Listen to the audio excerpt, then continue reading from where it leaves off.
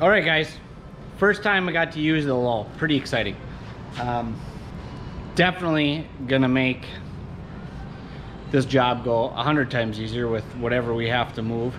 Those sheets of metal are probably upwards of 300 pounds. Um, so I'm kind of wishing I wouldn't have gone nine feet wide, but here I am now, and this is what we're gonna deal with. We'll figure it out. Yeah, everything moving stuff. We got all the sheets, all the siding stacked up, and we got the doors moved and got those stacked up. So uh, thank you again, Matt and Tony, for getting that machine up here from BRC. Uh, you guys rock. Absolutely priceless to have that here. So thank you.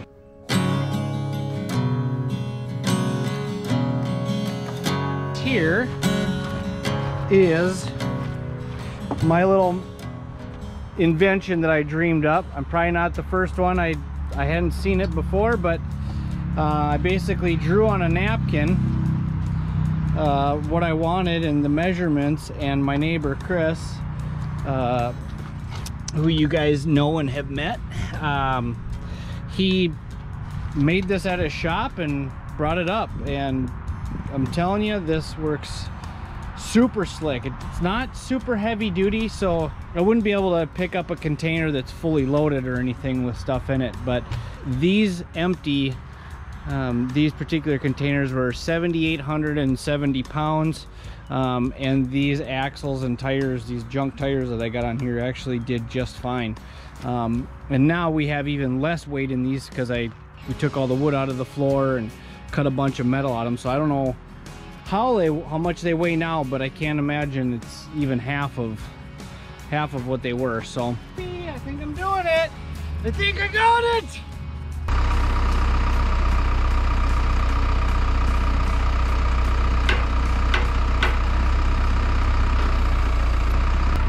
Now, the question is, should I figure out some rigging? I probably should because I'm gonna need it.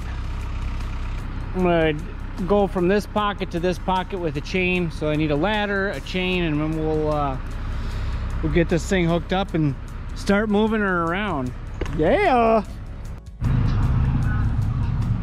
You guys have no idea how nerve-wracking this is how exciting it is. You know, these containers were moved uh, once before. They were out in the field out there when I first had them delivered because everything was covered in snow. And after the snow melted, we moved them in line. So basically I got a Congo line of, or an assembly line of containers. This is kind of a big deal now because uh, there's some nervousness number one because I don't know how well these are going to hold up with moving them especially this one that I accidentally cut that support across the bottom. So we got the straps in this one. Just the excitement of okay they're being moved now and this is the last time these are going to be moved. They're moved on site. Uh, it's kind of an epic moment for me to just to pick these things up and start moving them. So we're going to see how the rigging works that I'm going to set up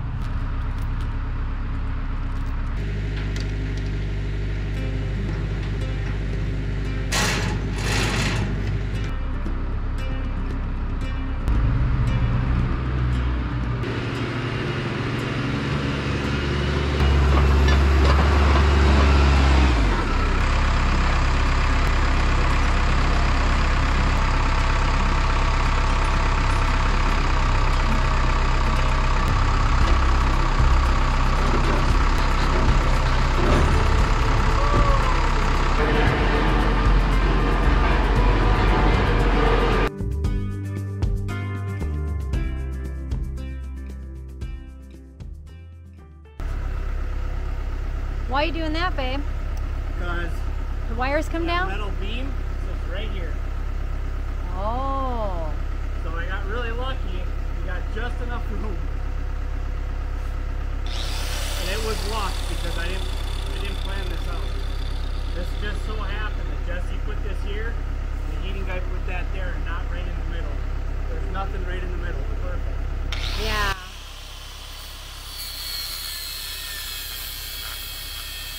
Right, here goes nothing, babe. Is that why they're waiting to polish the floor? It's just you and me, honey. Oh yeah. I'm not much help.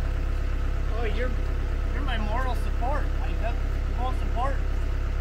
Yeah, you should hear my terrified voice. Every time you do something. Ah, ah. Oh, it made me so nervous you're gonna run into that thing. What? The, that It one. got close, didn't it? Woo!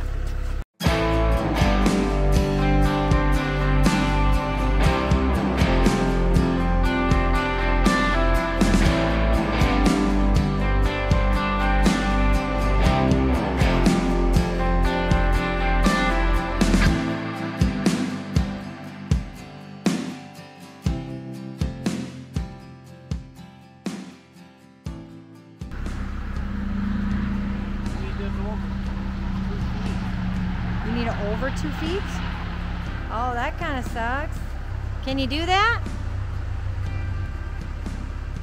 So you have to you have to swing her back?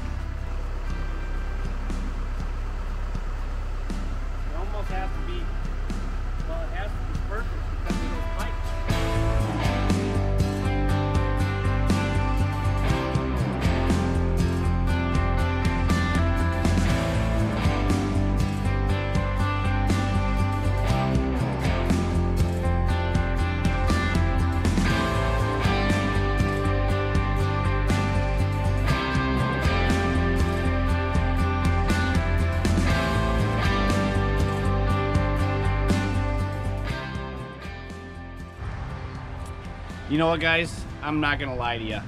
It's a beautiful day today, a little hot, but this last week has it's been a tough one on me. It's uh, I'm going on little to no sleep for the last week.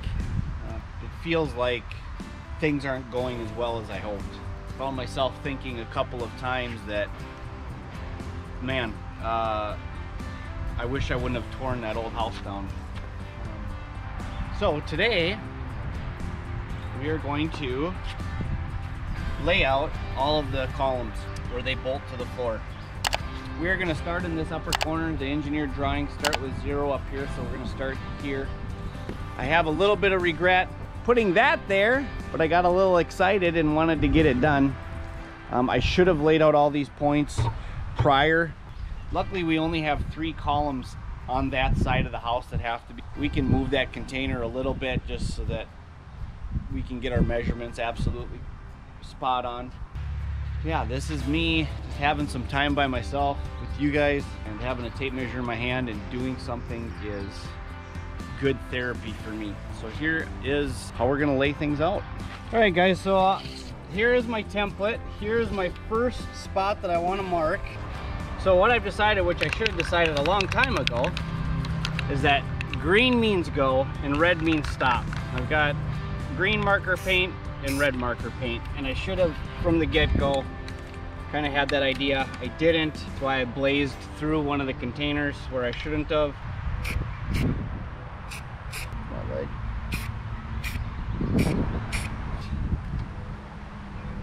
Venomous! Looks like I've got spots where I'm supposed to drill anchors.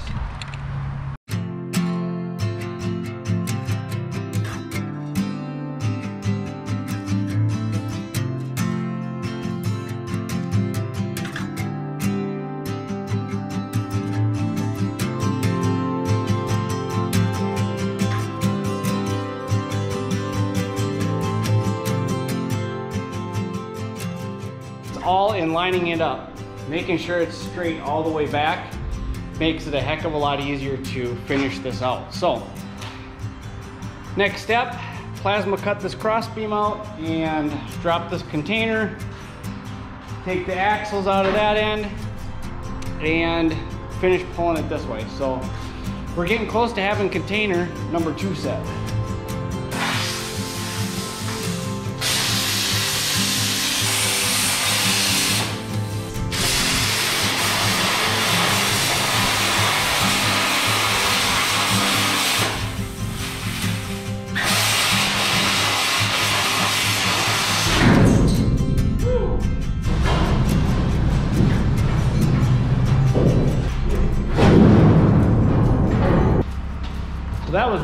Stupid.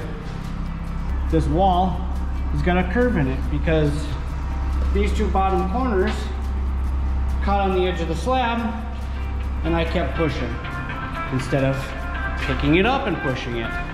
Just when I thought things were going well, very awesome. Well, there's a container on the slab, but it's bent now. And I don't know what that's gonna matter. If that's gonna be a spot that I'm, it's gonna be covered up inside or not. But yeah, you can see. God, that was really stupid. Oh my gosh, that was stupid. Ah. Well, second container set. That's a victory, I guess. So check out this bad boy. This thing is insanely powerful. It's pretty cool. So we've got a carbide tip concrete drill bit on here. It's got four holes in the end of it. So the vacuum goes onto here and sucks all the dust through the end of the bit. And it's pretty amazing how there's zero dust when I've been doing this. We're gonna show you how quickly and easily this thing drills holes.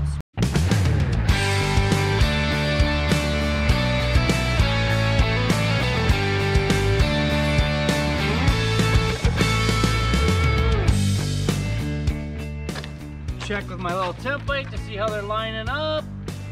Everything looks great. Perfect.